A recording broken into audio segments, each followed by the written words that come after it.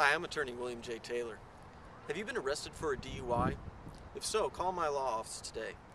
As a former DUI prosecutor in Las Vegas, Nevada, I know exactly what the state needs to be able to successfully prosecute you.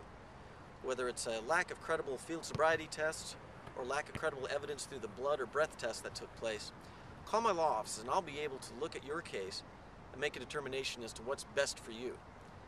Call me at 865 694 6155. Don't gamble on your case.